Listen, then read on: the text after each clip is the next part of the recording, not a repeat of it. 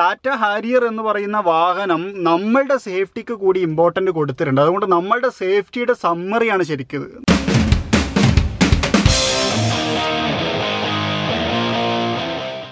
നമ്മുടെ ചാനലിന്റെ അടിയിൽ ഏറ്റവും കൂടുതൽ ആളുകൾ കമന്റ് ചെയ്ത ഒരു വാഹനമാണ് ടാറ്റയുടെ ഹാരിയർ എന്ന് പറയുന്നത് ഹാരിയർ എന്ന് പറയുന്ന വാഹനം നിരത്തിലിറങ്ങിയിട്ട് അല്ലെങ്കിൽ ഇന്ത്യൻ വിപണിയിൽ ഇറങ്ങിയിട്ട് ഒരുപാട് കാലമായി. കഴിഞ്ഞ ഡൽഹി മോട്ടോർ എക്സ്പോയിൽ അവർ വേറൊരു പേരിലാണ് ടാറ്റ ഹാരിയർ എന്ന് പറയുന്ന മോഡലിനെ അവതരിപ്പിച്ചിരുന്നത് എങ്കിലും ഇന്ത്യൻ വാഹന പ്രേമികളുടെ ഇഷ്ട വാഹനങ്ങളിൽ ഒന്നായി അല്ലെങ്കിൽ ഇഷ്ട എസ് യു വികളിലൊന്നായി ടാറ്റ ഹാരിയർ ഇടം പിടിച്ചു കഴിഞ്ഞു. ഇന്നത്തെ വീഡിയോയിലൂടെ നമ്മൾ പരിചയപ്പെടാൻ പോകുന്നത് ടാറ്റ ഹാരിയർ ഏറ്റവും ലേറ്റസ്റ്റ് ആയിട്ട് പുറത്തിറക്കിയിട്ടുള്ള ടാറ്റ ഹാരിയർ ബ്ലാക്ക് എഡിഷനെ കുറിച്ചാണ്. അതിന്റെ വിശേഷങ്ങളാണ്. എല്ലാ കൂട്ടുകാർക്കും നമ്മളുടെ പുതിയ ഒരു വീഡിയോയിലേക്ക് ഹൃദ്യമായ സ്വാഗതം.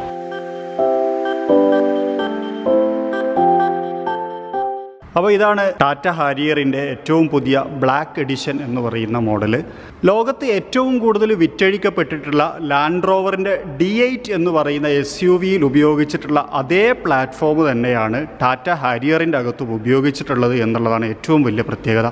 ആ ഒരു ടെക്നോളജിയെ ഇങ്ങോട്ട് കടമെടുത്തതിനെ ടാറ്റ വിളിക്കുന്നത് ആൽഫ ആർക്ക് എന്നുള്ളൊരു ടെക്നോളജിയാണ് ഇതിനകത്ത് ഉപയോഗിച്ചുള്ള സസ്പെൻഷൻ എന്ന് പറയുന്നതും നമ്മളുടെ ലാൻഡ് റോവർ അല്ലെങ്കിൽ ജാഗ്വർ പോലെയുള്ള ഹെവി വണ്ടികളിലും അതുപോലെ തന്നെ ഫോർമുല വൺ റേസുകളിലൊക്കെ ഉപയോഗിക്കുന്ന വാഹനങ്ങളിൽ ഉപയോഗിക്കുന്ന തരത്തിലുള്ള ഒരു സസ്പെൻഷനാണ് എന്നും ടാറ്റ പറയുന്നുണ്ട്. അങ്ങനെ ഉണ്ടാകുന്ന സമയത്ത് ഇന്ത്യൻ റോഡുകളിൽ വിശേഷ ഇപ്പോൾ നമ്മുടെ കേരളത്തിൽ കേടുവന്നുകൊണ്ടിരിക്കുന്ന റോഡുകളിൽ ഈ വാഹനത്തിൽ യാത്ര ചെയ്യുന്ന സമയത്ത് ആ ഒരു റോഡിന്റെ തകരാറ് വലിയ ഒരു എഫക്റ്റ് ഇല്ലാതെ നമുക്ക് കടന്നു പോകാൻ കഴിയും എന്നുള്ളതാണ് ഇത്തരത്തിലുള്ള ഒരു സസ്പെൻഷൻ ഇതിനകത്ത് യൂസ് ചെയ്യുന്നത് കൊണ്ടുള്ള ഒരു ഗുണം. ഒരുപാട് കളറുകൾ ഇതിനകത്ത് വന്നിട്ടുണ്ട്. അതുപോലെ തന്നെ ഡ്യുവൽ ടോണും വന്നിട്ടുണ്ട്.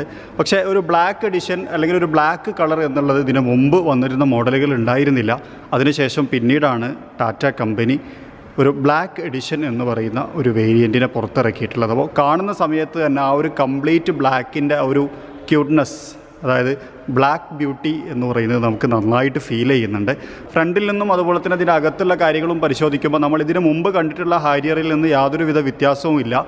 പക്ഷേ നമ്മളിതിനു മുമ്പ് ഒരു ഹാരിയർ റിവ്യൂ ചെയ്യാത്തത് കൊണ്ട് സാധാരണ നമ്മളൊരു ഹാരിയർ റിവ്യൂ ചെയ്യുന്ന പോലെ തന്നെയാണ് ചെയ്യുന്നത്. ഒപ്പം ബ്ലാക്ക് എഡിഷനാണ് എന്നുള്ളൊരു പ്രത്യേകത കൂടിയുണ്ട്. ഫ്രണ്ടിൽ നിന്ന് നോക്കുന്ന സമയത്ത് നമുക്ക് ടാറ്റയുടെ ലോഗോ നല്ലതായിട്ട് ഹൈലൈറ്റ് ചെയ്ത് ഫീൽ ചെയ്യുന്നുണ്ട്. ആ ഒരു ടി എന്ന് പറയുന്നത്.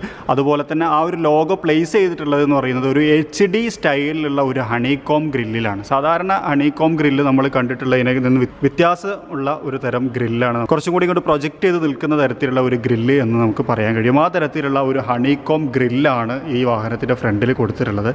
അതുപോലെ തന്നെ അതിന്റെ ഒരു കണ്ടിന്യൂഷൻ അല്ലെങ്കിൽ ആ ഒരു ഡിസൈൻ എലമെന്റിന്റെ ഭാഗമായിട്ടാണ് നമുക്ക് നമ്മുടെ ഡി ആർ എല്ലും കിടക്കുന്നത്. ഡി ആറിൽ എന്ന് പറഞ്ഞു കഴിഞ്ഞാൽ ആ ഫ്രണ്ടിൽ കുറച്ചുകൂടി വലുപ്പത്തിൽ ടോപ്പിൽ നമുക്ക് കൊടുത്തിട്ടുണ്ട്. തൊട്ട് താഴെയായിട്ട് നമുക്ക് പ്രൊജക്ടർ ഹെഡ് ലാമ്പ് കാണാം. ഇതൊരു xenon H I D projector head ലാമ്പാണ്.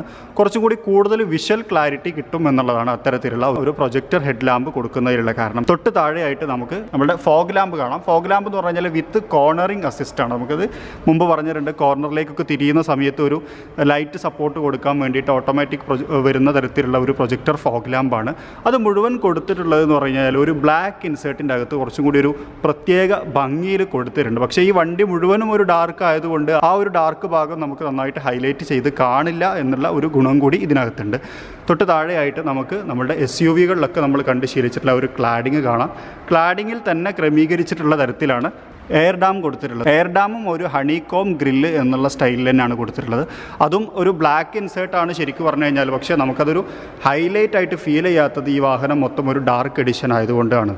മൊത്തത്തിൽ ഫ്രണ്ടിൽ നിന്ന് നോക്കുന്ന സമയത്ത് നമുക്ക് ഈ വാഹനത്തിന്റെ ഒരു മസ്കുലാർ ലുക്ക് അല്ലെങ്കിൽ ഇത് എത്രമാത്രം വലിയൊരു വാഹനമാണ് അല്ലെങ്കിൽ ഇതൊരു ഒരു അടിപൊളി എസ് യു വി ആണ് എന്നുള്ള ഒരു ഫീൽ ശരിക്കും നമുക്ക് കിട്ടുന്നുണ്ട്. അതിന് ആ ഒരു ഹുഡിലൊക്കെ കൊടുത്തിട്ടുള്ള ക്യാരക്ടർ ലൈനുകളൊക്കെ നന്നായിട്ട് സഹായിക്കുന്നുണ്ട്. ക്യാരക്ടർ ലൈൻ തന്നെ ഒരു പ്രത്യേക ഷേപ്പ് ഉണ്ട് നമുക്ക് പറയാൻ കഴിയും. അങ്ങനെയാണ് അതിന്റെ ഫ്രണ്ട് ഭാഗം കൊടുത്തിട്ടുള്ളത്. അതുപോലെ തൊട്ട് മുകളിലായിട്ട് നമുക്ക് നമ്മളുടെ വൈപ്പറുകൾ കാണാം. വൈപ്പറുകളുടെ പ്രത്യേകത എന്ന് പറഞ്ഞാൽ റെയിൻ സെൻസറിങ് വൈപ്പേഴ്സാണ് അതായത് നമ്മളിതിന് മുമ്പ് കണ്ട ചില മോഡലുകളിൽ പറഞ്ഞിട്ടുണ്ട് മഴ പെയ്യുന്ന സമയത്ത് ഓട്ടോമാറ്റിക്കായിട്ട് ഓണാകുന്ന തരത്തിലുള്ളതാണ്. അതിന് വേണ്ടിയിട്ടുള്ള സെൻസറുകളും കാര്യങ്ങളും നമുക്ക് ആ ഒരു ഭാഗത്ത് അതായത് നമ്മുടെ ഗ്ലാസിന്റെ മുന്ന ഭാഗത്ത് നമുക്ക് കാണാൻ കഴിയും. നാലായിരത്തി അഞ്ഞൂറ്റി തൊണ്ണൂറ്റി എട്ട് മില്ലിമീറ്ററാണ് ഈ വാഹനത്തിന്റെ ടോട്ടൽ ലെങ്ത്ത് വരുന്നത്. അതുപോലെ തന്നെ വിടുത്ത് വരുന്നത് ആയിരത്തി എണ്ണൂറ്റി തൊണ്ണൂറ്റി നാല് മില്ലിമീറ്ററും ആയിരത്തി എഴുന്നൂറ്റി ആറ് മില്ലിമീറ്റർ ഹൈറ്റുമാണ് ഈ വാഹനത്തിന് വരുന്നത്. അതുപോലെ തന്നെ രണ്ടായിരത്തി എഴുന്നൂറ്റി നാൽപ്പത്തി ഒന്ന് മില്ലിമീറ്ററാണ് ഇതിന്റെ വീൽ ബേസ് വരുന്നത്. ഗ്രൗണ്ട് ക്ലിയറൻസ് വരുന്നത് ഇരുന്നൂറ്റി അഞ്ച് മില്ലിമീറ്ററാണ്. ബ്രേക്കുകളെ കുറിച്ച് പറയുകയാണെന്നുണ്ടെങ്കിൽ ഫ്രണ്ടിൽ നമുക്ക് ഡിസ്ക് ബ്രേക്കാണ് വരുന്നത്. പിറകിൽ നമുക്ക് വരുന്നത് ഡ്രം ബ്രേക്കാണ്. ഒരു പതിനേഴ് ഇഞ്ച് റേഡിയസ് ടയറാണ് നമുക്ക് ഈ വാഹനത്തിനകത്ത് കൊടുത്തിട്ടുള്ളത്. അതുപോലെ തന്നെ ഒരു ഫൈവ് സ്പോക്ക് അലോയ് വീലും നമുക്ക് കാണാം. അതും നമുക്ക് ഇതിനകത്ത് കൊടുത്തിട്ടുള്ളത് ഒരു ഡാർക്ക് ആയിട്ടാണ്. അതിനകത്ത് നമുക്ക് ടാറ്റോയുടെ ഒരു ലോഗോയും കൂടി കാണാൻ കഴിയും. അതിന് തൊട്ട് മുകളിലായിട്ട് നമുക്ക് ആ വീലാർക്കൊക്കെ നന്നായിട്ട് ഹൈലൈറ്റ് ചെയ്ത് ഫീൽ ചെയ്യുന്നുണ്ട്. അതൊരു എസ് യു വി ആണ് എന്നുള്ളത് പറയാതെ തന്നെ പറയാൻ വേണ്ടി ചെയ്യുന്ന ഒരു സ്റ്റൈൽ പോലെ തോന്നിയിട്ടുണ്ട്. അതുപോലെ തന്നെ ആ ഒരു ക്ലാഡിങ്ങും ഒരു ഡാർക്ക് ഫീലിലാണ് കൊടുത്തിട്ടുള്ളത്. ഈ വീലാർക്കിന്റെ സൈഡിലായിട്ട് നമുക്ക് ഡാർക്ക് എന്ന് പറയുന്ന ഒരു ബാഡ്ജിങ് കാണാം. ആഷ് ഡാർക്ക് അതായത് ഇതൊരു ഡാർക്ക് എഡിഷൻ ആണ് എന്നുള്ള ഒരു ബാഡ്ജിങ് അവിടെ കൊടുത്തിട്ടുണ്ട്. അതുപോലെ തന്നെ മിററിലേക്ക് വരുന്ന സമയത്ത് ഒരു ഡാർക്ക് തീമിൽ നിന്ന് മാറിയിട്ട് ഒരു ക്രോം ഇൻസേർട്ട് അല്ലെങ്കിൽ ഒരു ക്രോം ഫിനിഷ് കൊടുത്തിട്ടുണ്ട് എന്ന് നമുക്ക് പറയാൻ കഴിയും. ഗ്ലാസിന്റെ മുകൾ ഭാഗം ഒരു ക്രോം ഫിനിഷ് കൊടുത്തിട്ടുണ്ട്. അതിന്റെ സെൻട്രലായിട്ട് നമുക്ക് ഇൻഡിക്കേറ്റർ കൂടി കാണാൻ കഴിയും. മാത്രമല്ല ഇതിന്റെ തൊട്ട് താഴെയായിട്ട് നമുക്കിവിടെ ഒരു ചെറിയ ലാമ്പ് ഉണ്ട്. ഈ ലാമ്പ് എന്ന് പറഞ്ഞു കഴിഞ്ഞാൽ രാത്രിയൊക്കെ ആവുന്ന സമയത്ത് ഹാരിയർ എന്നുള്ള ഒരു ബാഡ്ജിങ് നിലത്ത് നന്നായിട്ട് കാണിക്കാൻ കഴിയും. അത്തരത്തിലുള്ള ഒരു ലാമ്പ് അവിടെ കൊടുത്തിട്ടുണ്ട്. അതുപോലെ തന്നെ ഈ ഗ്ലാസിന്റെ ഈ ഒരു ഭാഗത്തു നിന്ന് തുടങ്ങിയിട്ട് ഒരു ക്രോം ഫിനിഷ് ഗ്ലാസിന്റെ മുകൾ ഭാഗത്ത് മൊത്തം കവർ ചെയ്ത് സി പില്ലർ വരെ നീണ്ടു നിവർന്ന് കിടക്കുന്നുണ്ട്. അതുപോലെ തന്നെ സി പില്ലറിലേക്ക് എത്തുന്ന സമയത്ത് ഒരു പ്രത്യേക ഡിസൈനിൽ വരികയും അതിനകത്ത് ഹാരിയർ എന്ന് പറയുന്ന ഒരു ബാഡ്ജിക്ക് കൊടുക്കുകയും ചെയ്തിട്ടുണ്ട്. ഒരു ഡാർക്ക് എഡിഷനെ കുറച്ചും കൂടി ഒരു ഹൈലൈറ്റ് ആക്കാൻ അല്ലെങ്കിൽ കുറച്ചും കൂടി ഒരു പ്രസൻസ് കൊടുക്കാൻ വേണ്ടിയിട്ട് ആ ഒരു സെട്ടുകൾ ആ ഒരു റിവ് മിററിന്റെ അകത്തും അതുപോലെ തന്നെ ആ ഒരു മുകളിലും കൊടുത്തിട്ടുള്ള ഇൻസേർട്ടുകൾക്ക് കഴിഞ്ഞിട്ടുണ്ട് എന്നുള്ളതൊരു സത്യമാണ്.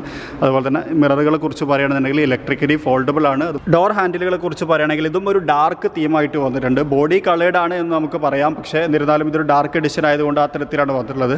ഒരു കീലെസ് എൻട്രി ആണ് നമുക്ക് ഇതിനകത്ത് വന്നിട്ടുള്ളത്. അതുപോലെ തന്നെ സൈഡിൽ നമുക്ക് നമ്മുടെ ക്ലാഡിങ്ങുകളൊക്കെ നന്നായിട്ട് ഹൈലൈറ്റ് ചെയ്ത് ഫീൽ ചെയ്യുന്നുണ്ട്. അതോടൊപ്പം തന്നെ ആ ഒരു ക്യാരക്ടർ ലൈനുകളും നല്ല ഉഷാറായിട്ട് തോന്നുന്നുണ്ട്. ഈ സൈഡിൽ നിന്ന് നോക്കുന്ന സമയത്താണ് ഇതൊരു വലിയ വണ്ടിയാണ് അല്ലെങ്കിൽ ഇത്രയും നീളമുള്ളൊരു വാഹനമാണ് എന്നുള്ളൊരു ഫീൽ ശരിക്കും നമുക്ക് കിട്ടുന്നത്. അതുപോലെ തന്നെ ഇവിടെ നമുക്ക് നമ്മുടെ ഡീസൽ ടാങ്ക് കാണാൻ കഴിയും. ജസ്റ്റ് പ്രസ് ചെയ്ത് കഴിഞ്ഞാൽ ഓപ്പൺ ആക്കാൻ പറ്റുന്ന തരത്തിലാണ് ഇതിന്റെ ഡീസൽ ടാങ്ക്. അൻപത് ലിറ്റർ ഫ്യൂവൽ കപ്പാസിറ്റി ഉള്ള ഒരു ഫ്യൂവൽ ടാങ്കാണ് ഹാരിയറിന്റെ അകത്ത് വന്നിട്ടുള്ളത്. അതുപോലെ തന്നെ ഒരു പ്രത്യേകത എന്ന് പറഞ്ഞു കഴിഞ്ഞാൽ നമ്മൾ സാധാരണ മറ്റു വണ്ടികളിലൊക്കെ കണ്ട് ശീലിച്ചിട്ടുള്ള പോലെ തന്നെ സൈഡിലേക്കും കൂടി കയറി നിൽക്കുന്ന തരത്തിലുള്ള ഒരു സ്റ്റോപ്പ് ലാമ്പാണ് ഈ വാഹനത്തിൽ വന്നിട്ടുള്ളത് എന്ന് പറയാം. പക്ഷേ ഒരു പ്രത്യേകത ഞാൻ കണ്ടതെന്ന് പറഞ്ഞു കഴിഞ്ഞാൽ മുഴുവൻ ഭാഗവും ഒരു പക്ഷേ സൈഡിലേക്ക് കയറി നിൽക്കുന്ന തരത്തിലാണ്. ബാക്ക് ഭാഗത്തിലേക്ക് കുറച്ചുകൂടി കുറവാണ് എന്നുള്ളതാണ്. പക്ഷേ അതും വളരെ മനോഹരമായിട്ട് ക്രമീകരിച്ചിട്ടുണ്ട്. ആ ഒരു സ്റ്റോപ്പ് ലാമ്പ് കണ്ടോ?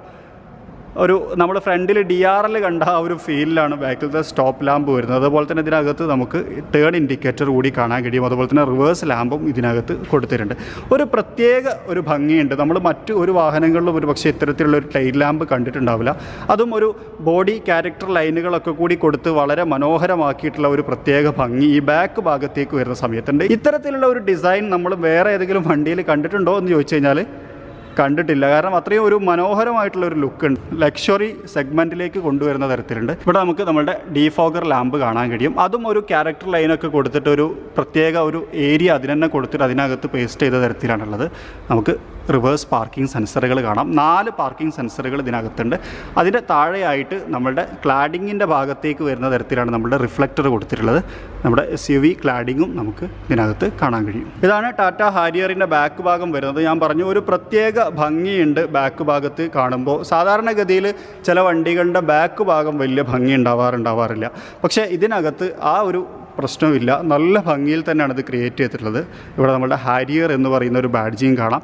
ഇവിടെ നമ്മുടെ നമ്പർ പ്ലേറ്റ് വെക്കാനുള്ള സ്പേസാണ് അതിന്റെ മുകളിലായിട്ട് നമുക്ക് ഒരു ക്യാമറയും കൂടി കാണാൻ കഴിയും. നമ്മൾ റിവേഴ്സ് പാർക്കിംഗ് സൗകര്യങ്ങൾക്കും കാര്യങ്ങൾക്കൊക്കെ വേണ്ടിയിട്ടുള്ളതാണ്. അതുപോലെ തന്നെ ടാറ്റയുടെ ഒരു ലോഗയുണ്ട്.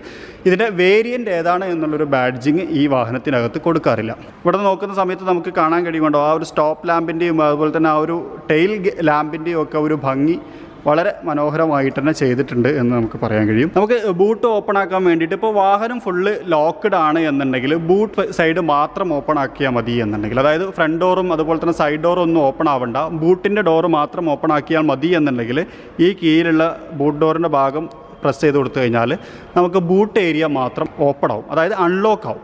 അങ്ങനെ അൺലോക്ക് ആയി കഴിഞ്ഞാൽ ഇവിടെയാണ് ഒരു ബട്ടൺ ഉള്ളത്. ഈ ബട്ടൺ പ്രസ് ചെയ്ത് കൊടുത്തു കഴിഞ്ഞാൽ നമുക്ക് ബൂട്ട് ഓപ്പൺ ആക്കാൻ കഴിയും. വലിയ വെയിറ്റ് ഒന്നുമില്ല. തുറന്നു വരുന്ന സമയത്ത് കുറച്ചും കൂടി ഒരു ഭംഗിയുള്ള ബൂട്ട് സ്പേസ് ആയിട്ട് ഫീൽ ചെയ്തിട്ടുണ്ട്. നാനൂറ്റി ഇരുപത്തി അഞ്ച് ലിറ്റർ ബൂട്ട് സ്പേസ് ആണ് ടാറ്റ ഹാരിയറിന് വരുന്നത്. ആ ഒരു സീറ്റും കൂടി ഫോൾഡ് ചെയ്ത് കഴിഞ്ഞാൽ നമുക്ക് ഏകദേശം എണ്ണൂറ്റി പത്തോളം ലിറ്റർ ബോട്ട് സ്പേസ് നമുക്ക് അവൈലബിൾ ആയിട്ട് വരുന്നുണ്ട്. ഇതിന്റെ താഴ്ഭാഗത്തും നമുക്ക് ചെറിയൊരു ബൂട്ട് സ്പേസ് ഉണ്ട്. എന്തെങ്കിലും സാധനങ്ങളൊക്കെ ഉണ്ട് എന്നുണ്ടെങ്കിൽ അല്ലെങ്കിൽ ചളുങ്ങി പോകുന്നതോ പൊട്ടി പോകുന്നതോ ഒക്കെ സാധനങ്ങളൊക്കെ ഉണ്ടെങ്കിൽ അതിനകത്ത് വെച്ച് കുറച്ചും കൂടി സേഫ് ആക്കാൻ പറ്റും. എന്നാൽ മുകളിൽ മറ്റ് സാധനങ്ങൾ വെച്ചാലും വലിയ പ്രശ്നങ്ങളൊന്നും ഉണ്ടാവില്ല. കുറച്ചും കൂടി സ്റ്റാൻഡേർഡ് ആക്കി ചെയ്തിട്ടുണ്ട് എന്ന് നമുക്ക് വേണമെങ്കിൽ പറയാൻ കഴിയും. അതുപോലെ തന്നെ ഇവിടെ നമുക്കൊരു ലാമ്പ് കാണാൻ കഴിയും. Boot lamp. അതിന് അതുപോലെ തന്നെ ഇവിടെ നമുക്കൊരു സൗണ്ട് സിസ്റ്റവും കൊടുത്തിട്ടുണ്ട്. ഇതിന്റെ സ്റ്റെപ്പിന് വരുന്നത് എന്ന് പറഞ്ഞു കഴിഞ്ഞാൽ താഴ്ഭാഗത്താണ്. താഴെ നമുക്ക് കാണാൻ കഴിയുമുണ്ടോ സ്റ്റെപ്പിന് ഇതിനകത്തുണ്ട്. അവിടെ നമുക്ക് നമ്മളുടെ എക്സോസ്റ്റ് കൂടി കാണാൻ കഴിയും. നമ്മളുടെ പാർസൽ ട്രേ ഇതിനകത്ത് കണക്ട് ചെയ്ത് വെക്കുന്ന തരത്തിലാണ് ആവശ്യമുണ്ട് എന്നുണ്ടെങ്കിൽ അല്ലെങ്കിൽ നമുക്ക് എന്തെങ്കിലും പർപ്പസ് ഉണ്ട് എന്നുണ്ടെങ്കിൽ ട്രെയിനെ നമുക്ക് എന്ത് ചെയ്യാം താഴ്ത്തി വെക്കാൻ കഴിയും. ഇതിന്റെ കൂടെ തന്നെ പൊന്തിക്കാനുള്ള ഓപ്ഷനും നമുക്കുണ്ട് എന്നർത്ഥം. ആവശ്യം കഴിഞ്ഞ് കഴിഞ്ഞാൽ മാനുവലി തന്നെ നമുക്ക് ഓപ്പൺ ചെയ്യാം. അതുപോലെ തന്നെ മാനുവലി തന്നെ ക്ലോസ് ചെയ്യാൻ പറ്റും. ഇത് നമ്മുടെ റിയർ വൈപ്പർസ് അതുപോലെ തന്നെ നമ്മുടെ സ്റ്റോപ്പ് ലാമ്പ്. മുകളിൽ നമുക്കൊരു ഷാർക്ക് ഫിൻ ആന്റിന കൂടി കാണാൻ കഴിയും. അതുപോലെ തന്നെ മുകളിലെ ഒരു പ്രത്യേകത എനിക്ക് തോന്നിയതെന്ന് പറഞ്ഞാൽ ഈ ഒരു ക്യാരക്ടർ ലൈനുകളൊക്കെ മുകളിലും ഇതിനകത്ത് കൊടുത്തിട്ടുണ്ട്. ഒരു പ്രത്യേക ഒരു ഭംഗി കൊടുക്കുന്നുണ്ട് ഒരു പക്ഷേ നോക്കുന്ന സമയത്ത്. ഇനി നമ്മൾ ഡോർ തുറന്ന് അകത്തേക്ക് കയറുന്ന സമയത്ത് ഞാൻ പറഞ്ഞു ഒരു കീലസ് എൻട്രിയാണ് വരുന്നത്. എക്സ്റ്റീരിയറിൽ നമ്മൾ കണ്ടതുപോലെ തന്നെ ഇന്റീരിയറിന്റെ കേസ് വരുന്ന സമയത്തും നമുക്ക് ഒരു പക്ക ബ്ലാക്ക് ആയിട്ടുള്ള ഒരു തീമാണ് ഇതിനകത്ത് കൊടുത്തിട്ടുള്ളത്.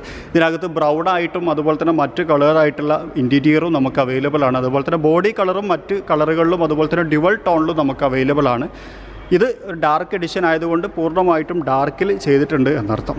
ഡോറിലേക്ക് വരുന്ന സമയത്തും നമ്മൾ നേരത്തെ പറഞ്ഞതുപോലെ തന്നെ പ്യുവർ ആയിട്ടുള്ള ഒരു ബ്ലാക്ക് ഇൻസേർട്ടുകളാണ് കൊടുത്തിട്ടുള്ളത്. ഇതൊരു ലെതർ ഫിനിഷാണ് നമ്മുടെ ഹാൻഡ് റെസ്റ്റിന്റെ ഭാഗത്ത് വരുന്ന സമയത്ത് അതുപോലെ തന്നെ ഈ ഹാൻഡ് പിടിക്കുന്ന അതുപോലെ തന്നെ ഡോർ തുറക്കുന്ന ഒക്കെ ഏരിയയിലേക്ക് വരുന്ന സമയത്തും ഒരു ലെതർ ഫിനിഷ് കൊടുത്തിട്ടുണ്ട്.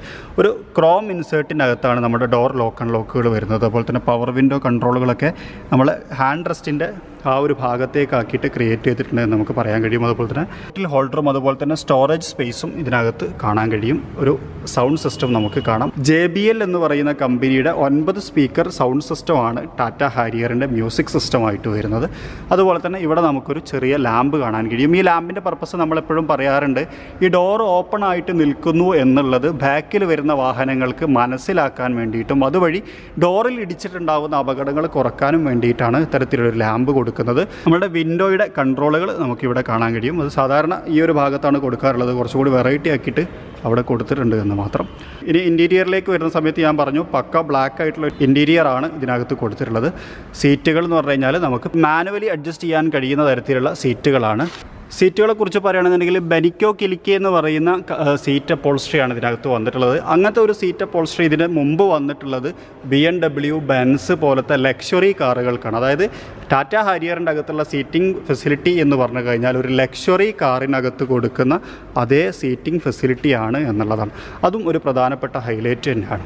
ഇതാണ് ഹാരിയർ ഡാർക്ക് എഡിഷന്റെ ഇന്റീരിയർ വരുന്നത്. ഈ ഡാഷ്ബോർഡിന്റെ കാര്യം പറയുന്ന സമയത്ത് ഞാനൊരു കാര്യം കൂടി പരിചയപ്പെടുത്താം. സാപ്പ് എന്ന് പറയുന്ന കമ്പനി നമുക്ക് രണ്ട് ഗിഫ്റ്റുകൾ അയച്ചു തന്നിട്ടുണ്ടായിരുന്നു എന്ന് ഞാൻ പറഞ്ഞു.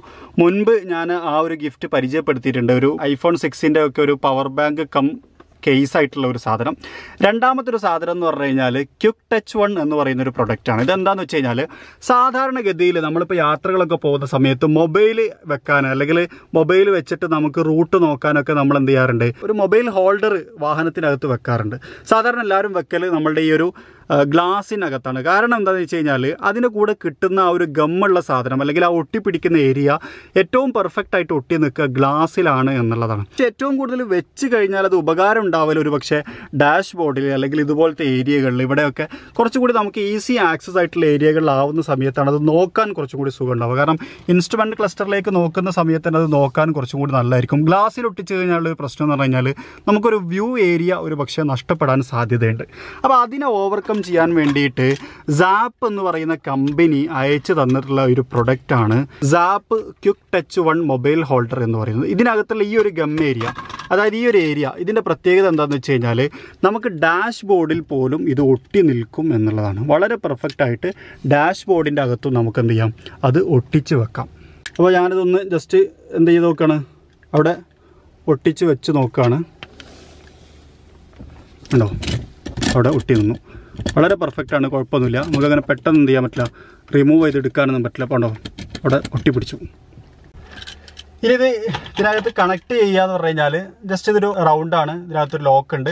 ഇവിടെ തിരിച്ച് ലൂസാക്കി കഴിഞ്ഞാൽ നമുക്ക് എന്ത് ചെയ്യാം? ഇതിനകത്തേക്ക് വെച്ചിട്ട് വീണ്ടും അടിഭാഗത്ത് ടൈറ്റ് ചെയ്ത് കഴിഞ്ഞാൽ ഈ സംഭവം റെഡിയായി ഇതിന്റെ മറ്റ് ചില പ്രത്യേകതകൾ എന്താണെന്ന് വെച്ച് കഴിഞ്ഞാൽ ഒന്ന് നമുക്ക് ത്രീ സിക്സ്റ്റി ആയിട്ട് ഇത് ഇങ്ങോട്ട് തിരിക്കാം. എങ്ങനെയും തിരിച്ചുപയോഗിക്കാം. അതായത് ഒരേ പൊസിഷനിൽ തന്നെ വെച്ച് ഒരാൾ തന്നെ കാണണം എന്നുള്ള നിർബന്ധമൊന്നുമില്ല. അപ്പോൾ അപ്പുറത്തുള്ള ആൾക്ക് പെട്ടെന്ന് നോക്കണം എന്നുണ്ടെങ്കിൽ അങ്ങോട്ട് തിരിച്ചിട്ട് നോക്കാം. അതുപോലെ തന്നെ വേറൊരു ഹൈലൈറ്റ് എന്ന് പറഞ്ഞു കഴിഞ്ഞാൽ ഇത് നമുക്ക് എന്ത് ചെയ്യാമെന്നറിയോ ഇവിടെ ഈ ഒരു ഭാഗത്തൊരു സംഭവമുണ്ട്. ഇത് തിരിച്ചു കഴിഞ്ഞാൽ നമുക്ക് വലിപ്പം കൂട്ടുകയും ചെയ്യാം.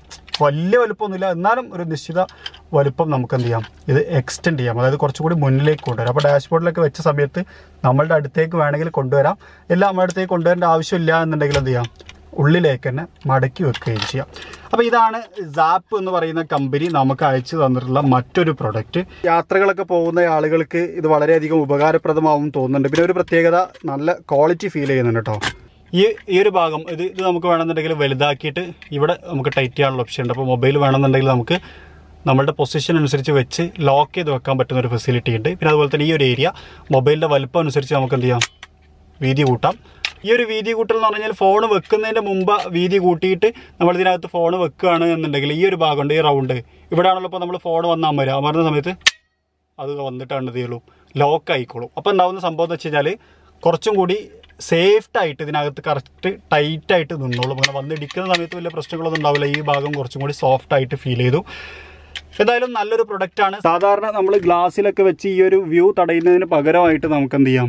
നമ്മൾ ഡാഷ്ബോർഡിനകത്ത് വെച്ച് കഴിഞ്ഞാൽ കുറച്ചുകൂടി നല്ല ഒരു വ്യൂ നമുക്ക് കിട്ടുകയും ചെയ്യും. അപ്പോൾ നല്ലൊരു പ്രൊഡക്റ്റാണ് അപ്പോൾ ഇതിന്റെ ശരിക്കും വില എന്ന് പറഞ്ഞു കഴിഞ്ഞാൽ ബോക്സിനകത്ത് കാണിക്കുന്നത് മൂവായിരത്തി മുന്നൂറ് രൂപയാണ്. വെബ്സൈറ്റിനകത്ത് വില വരുന്നത് ആയിരത്തി നാനൂറ്റി തൊണ്ണൂറ്റൊമ്പത് രൂപയാണ്. അപ്പോൾ നിങ്ങൾക്ക് ആവശ്യമുണ്ട് എന്നുണ്ടെങ്കിൽ നമ്മൾ നേരത്തെ യൂസ് ചെയ്ത പോലെ തന്നെ നജീബ് വൺ ഫൈവ് എന്ന് പറയുന്ന ഒരു കോഡ് നിങ്ങൾ യൂസ് ചെയ്യുകയാണെന്നുണ്ടെങ്കിൽ നിങ്ങൾക്ക് എന്ത് ചെയ്യാം? ഈ ഒരു സാധനം നിങ്ങൾക്ക് പതിനഞ്ച് ശതമാനം ഡിസ്കൗണ്ടോട് കൂടിയിട്ട് നിങ്ങൾക്ക് വാങ്ങാൻ കഴിയും. വെബ്സൈറ്റിനകത്ത് പത്ത് ശതമാനം ഡിസ്കൗണ്ടാണുള്ളത് പക്ഷേ നജീബ് വൺ ഫൈവ് എന്ന് പറയുന്ന കോഡ് നിങ്ങൾ യൂസ് ചെയ്ത് കഴിഞ്ഞാൽ നിങ്ങൾക്കതൊരു പതിനഞ്ച് ശതമാനം ഡിസ്കൗണ്ടോട് കൂടിയിട്ട് കിട്ടും എന്നുള്ളതാണ്. അതുപോലെ തന്നെ സ്റ്റിയറിങ്ങുകളെ കുറിച്ച് പറയുകയാണെങ്കിൽ ടിൽട്ടബിൾ ആണ് അതുപോലെ തന്നെ ടെലസ്കോപ്പിക് ആണ്. അതോടൊപ്പം തന്നെ ലെതർ റാപ്പിഡ് ആണ്. ലെതർ കൊടുത്തുകൊണ്ട് നമുക്ക് എന്ത് ചെയ്യാം? ഹാൻഡിൽ ചെയ്യാൻ ഭയങ്കരമായിട്ട് ഈസി ആയിട്ട് ഫീൽ ചെയ്യും. അതുപോലെ തന്നെ നമുക്ക് ക്രോയിസ് കൺട്രോൾ അതുപോലെ തന്നെ വോളിയം അപ്പ് ആൻഡ് ഡൗൺ അതുപോലെ തന്നെ വോയിസ് കമാൻഡ് ഫോൺ അറ്റൻഡ് ചെയ്യാനുള്ള കാര്യങ്ങൾ ഇത്തരത്തിലുള്ള കാര്യങ്ങളൊക്കെ കൊടുത്തിട്ടുള്ള ഒരു മൾട്ടി ഫംഗ്ഷൻ ആയിട്ടുള്ള ഒരു സ്റ്റിയറിംഗ് ആണ്. അതുപോലെ തന്നെ ഒരു ത്രീ സ്പോക്ക് സ്റ്റിയറിംഗ് ആണ് എന്ന് പറയാം. മൂന്ന് കളറുകൾ കൊടുത്തിട്ടുണ്ട്. ഈ ഒരു ലെതറിന്റെ ഭാഗം ഡാർക്ക് ആണ് വരുന്നത്. ഇവിടെ വരുമ്പോൾ കുറച്ചുകൂടി ബ്രൗൺ വരുന്നുണ്ട്. ഇത് കുറച്ചുകൂടി ഒരു ലൈറ്റ് ബ്രൗൺ ഇങ്ങനെ ഒരു മൂന്ന് കളറിലുള്ള ഇയറിംഗ് ആണ് വരുന്നത്. അതുപോലെ തന്നെ ഒരു ടാറ്റയുടെ ലോഗോ കാണാം. എന്റെ ഹോൺ വരുന്നത് എന്ന് പറഞ്ഞു കഴിഞ്ഞാൽ ഇത്തരത്തിലുള്ള ഒരു ഹോണാണ് വരുന്നത്. അത്യാവശ്യം നല്ല ഒരു ഹോൺ എന്ന് വേണമെങ്കിൽ പറയാൻ കഴിയും. അതുപോലെ തന്നെ ഇത് നമ്മളുടെ എ സി വെന്റുകൾ എ സി വെന്റുകൾക്കൊരു ക്രോം ആവരണം കൂടി കൊടുത്തിട്ടുണ്ട്. അതോടൊപ്പം തന്നെ താഴേക്ക് വരുന്ന സമയത്ത് നമ്മുടെ എൻജിൻ സ്റ്റാർട്ട് സ്റ്റോപ്പ് ബട്ടൺ കാണാം. ഈ ഒരു ഭാഗം വരുന്നത്. ഇങ്ങനെ നീണ്ടു നിവർന്ന് ഇങ്ങോട്ടൊക്കെ ഇവിടെ നിന്നൊക്കെ ഉണ്ടോ ഇങ്ങനെ ഇവിടം വരെ നീണ്ടു നിൽക്കുന്ന ഒരു ഏരിയയാണ്. ഇതൊരു കാർബൺ ഫൈബറിന്റെ ഡിസൈനിലാണ് കൊടുത്തിട്ടുള്ളത്. ഒരു കാർബൺ ഫൈബർ ആണെന്ന് പറയാൻ കഴിയും. അതുപോലെ തന്നെ സെൻട്രൽ കൺസോളിന്റെ അകത്ത് കൊടുത്തിട്ടുള്ള നമ്മളുടെ അൾട്ടി ഇൻഫോ സിസ്റ്റം ഒരു പ്രത്യേക ഭംഗിയിലാണ് കൊടുത്തിട്ടുള്ളതെന്ന് പറയാം. അതായത് ഇത് മൊത്തം ഒരു യൂണിറ്റ് ആക്കി കൊടുത്തിട്ട് അതിന്റെ മുകൾ ഭാഗത്താണ് നമ്മളുടെ മൾട്ടി ഇൻഫോ സിസ്റ്റം വരുന്നത്.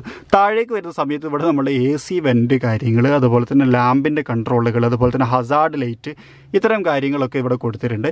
മാത്രമല്ല ഇത് നമ്മളുടെ ഇൻഫോ സിസ്റ്റത്തിന്റെ കൺട്രോൾ ബട്ടണാണ് വരുന്നത്. ഇത് നമുക്കൊരു ടച്ച് സ്ക്രീനാണ് ഇതിനകത്ത്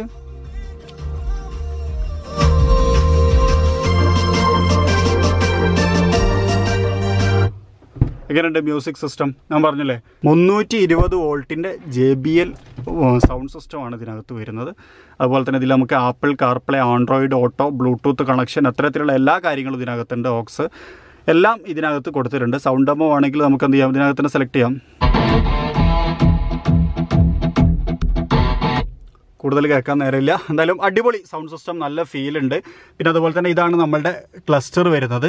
ഇതിനകത്ത് നമ്മളുടെ ക്രൂയിസ് കൺട്രോളും കാര്യങ്ങളും അതുപോലെ തന്നെ ഫ്യൂവൽ ഇപ്പോൾ ഫ്യൂവൽ ഇല്ല എന്ന് കാണിക്കുന്നുണ്ട്. അതുപോലെ തന്നെ സ്പീഡോമീറ്റർ അനലോഗ് ഭാഗം ഇതിനകത്തുണ്ട്. അതുപോലെ തന്നെ ഒരു ഡിജിറ്റൽ ഭാഗവും കൊടുത്തിട്ടുണ്ട്. രണ്ടും കൂടി മിക്സ്ഡ് ആയിട്ടുള്ള ഒരു ഭാഗമാണ് കൊടുത്തിട്ടുള്ളത്. അതുപോലെ ഇവിടെ നമ്മളുടെ വൈപ്പർ കൺട്രോൾ കാര്യങ്ങൾ ഹെഡ്ലൈറ്റിന്റെ കൺട്രോൾ കാര്യങ്ങളൊക്കെ ഇതിനകത്ത് നമുക്ക് കാണാൻ കഴിയും. ഇനി നമ്മളുടെ ഇൻഫോ സിസ്റ്റത്തിന്റെ താഴേക്ക് വരുന്ന സമയത്ത് നമുക്കിവിടെ എന്ത് ചെയ്യാം? നമ്മളുടെ എ സി കൺട്രോളുകൾ കൂടി കാണാൻ കഴിയും. എ സി ഓൺ ഓഫ് അതുപോലെ തന്നെ ഫാനിന്റെ സ്പീഡ് കൺട്രോൾ പൊസിഷൻ കൺട്രോൾ ഇതൊക്കെ ഒരു ടച്ച് പോലെയാണ്. പക്ഷേ ഇവിടെ നമുക്ക് ഇത് കൺട്രോൾ ചെയ്യാനുള്ള ബട്ടൺ നമുക്ക് സാധാരണ പോലെ തന്നെ ഇത് തിരിക്കുന്ന സ്റ്റൈലിലാണ് കൊടുത്തിട്ടുള്ളത്. താഴേക്ക് വരുമ്പോൾ നമുക്കിവിടെ ഒരു ചെറിയ സ്റ്റോറേജ് സ്പേസ് കാണുന്നുണ്ട്. നമുക്ക് കീ വെക്കാം അതുപോലെ തന്നെ ഫോൺ വെക്കാം. അതിനൊക്കെ പറ്റിയൊരു സംഭവമാണ്. അതുപോലെ തന്നെ ഇവിടെ നമുക്ക് കൈ പിടിക്കാൻ പിടിച്ചിരിക്കാനുള്ള സാധാരണ ഓഫ് റോഡ് വണ്ടികളിലൊക്കെ വരുന്ന സ്റ്റൈലുള്ള ഒരു സംഭവമാണ്. അതിന്റെ ചെറിയ ഒരു മിനിയേച്ചർ രൂപം എന്ന് പറയാൻ പറ്റുന്ന തരത്തിൽ അതവിടെ കൊടുത്തിട്ടുണ്ട്. അതുപോലെ തന്നെ നമ്മളുടെ മോഡ് അതായത് നമ്മുടെ ഡ്രൈവ് മോഡ് സെലക്ട് ചെയ്യാനുള്ള ഒരു ബട്ടൺ നമുക്ക് തിരിച്ചുകൊണ്ട് നമുക്ക് എന്ത് ചെയ്യാം? Wet mode activated. Wet mode activated Rough road mode activated. Rough road mode activated mode activated. അങ്ങനെ നമ്മളുടെ മോഡുകൾ ആക്റ്റീവ് ചെയ്യാനുള്ള ഒരു ഓപ്ഷൻ അവിടെ കാണാം അതുപോലെ തന്നെ ഹിൽ ഹോൾഡ് കൺട്രോളിന്റെ ഒരു ബട്ടൺ നമുക്കിവിടെ കാണാം അതുപോലെ തന്നെ ട്രാക്ഷൻ കൺട്രോളിന്റെ ഒരു ബട്ടണും കാണാം ഇത് നമ്മളുടെ ട്രാൻസ്മിഷനാണ് വരുന്നത്. സിക്സ് സ്പീഡ് മാനുവൽ ട്രാൻസ്മിഷനാണ് ഇതിനകത്ത് വരുന്നത്. നമുക്ക് ഓട്ടോമാറ്റിക്കിന്റെ അകത്ത് ഹാരിയർ വരുന്നില്ല. കുറച്ചും കൂടി നല്ല ഒരു ഫിനിഷോട് കൂടി കൊടുത്തിട്ടുള്ള ഗിയർ നോബാണ് എന്ന് നമുക്ക് പറയാം. ഇവിടെയും നമുക്കൊരു ചെറിയ സ്റ്റോറേജ് സ്പേസ് കാണുന്നുണ്ട്. പിന്നെ ഇതിനകത്ത് വരുന്ന വേറൊരു ഓപ്ഷനാണ് നമ്മളുടെ ഡ്രൈവ് നെസ്റ്റ് എന്ന് പറഞ്ഞിട്ടൊരു ഓപ്ഷൻ എനിക്കിവിടെ കാണാൻ കഴിയും. ഡ്രൈവ് നെസ്റ്റ് അത് സെലക്ട് ചെയ്ത് കഴിഞ്ഞാൽ നമുക്ക് കണ്ടാവും ഫ്യൂവൽ എഫിഷ്യൻസി ഇതിന്റെ എഫിഷ്യൻസി എത്ര മാത്രമുണ്ട്? ഡ്രൈവിങ് സേഫ്റ്റി അതിന്റെ സ്റ്റാർ റേറ്റിംഗ് കാര്യങ്ങൾ. അത് ഓരോന്നും ഇപ്പോൾ നമ്മൾ എത്ര ട്രിപ്പ് എത്ര ഡിസ്റ്റൻസ് വന്നു? അതിൽ ആവറേജ് സ്പീഡ് എത്രയാണ്? അതിനകത്ത് ആവറേജ് ഫ്യൂവൽ എക്കണോമി എങ്ങനെയാണ്? അതിൽ എത്ര സമയം എഞ്ചിന് ഐഡിൽ സ്റ്റേറ്റിൽ നിന്നിട്ടുണ്ട്? ഇത്തരത്തിലുള്ള കാര്യങ്ങളൊക്കെ നമുക്ക് ഇതിനകത്ത് കിട്ടും. അതുപോലെ തന്നെ ഡ്രൈവിംഗ് എന്ന് പറഞ്ഞ ഓപ്ഷൻ എടുത്തു കഴിഞ്ഞാൽ ഗിയർ യൂട്ടിലൈസേഷൻ എങ്ങനെയാണ്? മോസ്റ്റ് യൂസ്ഡ് ഗിയർ ഏതാണ്? അങ്ങനെ നമ്മുടെ ഡ്രൈവിന്റെ ഒരു സമ്മറി നമുക്ക് അടിപൊളിയായിട്ട് കിട്ടും. അതുപോലെ തന്നെ വളരെ പ്രധാനപ്പെട്ട ഒരു കാര്യം സേഫ്റ്റിയിൽ എത്ര സമയത്ത് സീറ്റ് ബെൽറ്റ് എത്ര യൂസ് ചെയ്തിട്ടുണ്ട് അതുപോലെ തന്നെ നൂറ്റി ഇരുപത് കിലോമീറ്ററിന്റെ മുകളിൽ എത്ര സമയത്ത് പോയിട്ടുണ്ട് ബ്രേക്ക് എത്ര സമയത്ത് കൊടുത്തിട്ടുണ്ട് ഹാഷായിട്ട് എത്ര ബ്രേക്ക് കൊടുത്തിട്ടുണ്ട് എത്ര ആക്സിലേറ്റർ കൊടുത്തിട്ടുണ്ട് എന്നുള്ള ഒരു ട്രിപ്പ് സമ്മറി നമുക്ക് ഇതിനകത്തുണ്ട് ഇങ്ങനെ ഇത് കൊടുക്കുന്നതുകൊണ്ട് എനിക്ക് തോന്നിയൊരു ഗുണം ഞാൻ പറയാട്ടോ. നമ്മളുടെ സേഫ്റ്റി എത്രമാത്രം ഉണ്ട് എന്നുള്ളത് നമുക്ക് മനസ്സിലാവും.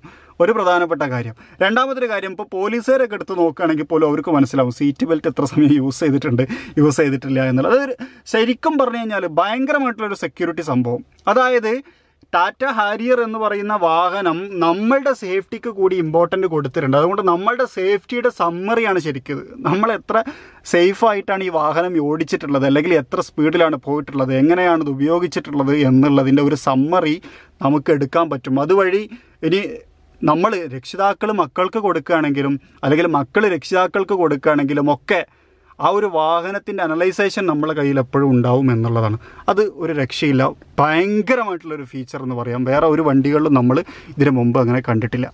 പിന്നെ ഒരു കാര്യം എന്ന് പറഞ്ഞു കഴിഞ്ഞാൽ ഇത് എത്ര സ്പീഡിൽ പോവുകയാണെന്നുണ്ടെങ്കിലും വണ്ടി എത്ര സ്പീഡ് പോവുകയാണെന്നുണ്ടെങ്കിലും നമുക്ക് നമ്മളുടെ റിവേഴ്സ് വ്യൂ അതായത് റിയർ വ്യൂ നമുക്ക് കിട്ടും എന്നുള്ളതാണ്. അതിന് നമ്മൾ എന്ത് ചെയ്യേണ്ട ആവശ്യമില്ല. റിവേഴ്സ് ഗിയറിലേക്ക് വണ്ടി ഇടണം എന്നില്ല. സാധാരണ ചില വണ്ടികളിൽ റിവേഴ്സ് ഗിയറിൽ ഇട്ടാലാണ് ഉണ്ടാവുക. ഇതിനകത്ത് അങ്ങനെ ആവശ്യമില്ല. ചില വണ്ടികളിലും നമ്മൾ അത്തരത്തിലൊരു ഫീച്ചർ ഇതിനു മുമ്പ് കണ്ടിട്ടുണ്ട്. ഇതാണ് നമ്മളുടെ ഹാൻഡ് ബ്രേക്ക് വരുന്നത്. ഹാൻഡ് ബ്രേക്ക് ഒരു പ്രത്യേക ഡിസൈനിലാണ് കൊടുത്തിട്ടുള്ളത്. ഒരു സ്റ്റാൻഡേർഡ് വ്യൂ എന്ന് വേണമെങ്കിൽ പറയാൻ കഴിയും അത്തരത്തിൽ. സാധാരണ നമ്മൾ കണ്ടിട്ടുള്ള അല്ലെങ്കിൽ കണ്ട് ശീലിച്ചിട്ടുള്ള മാനുവൽ ഹാൻഡ് ബ്രേക്കുകളിൽ നിന്നും എന്റെ ഡിഫറെന്റ് ആയിട്ടുള്ള ഒരു ഹാൻഡ് ബ്രേക്കാണ് ഇതിനകത്ത് കൊടുത്തിട്ടുള്ളത്.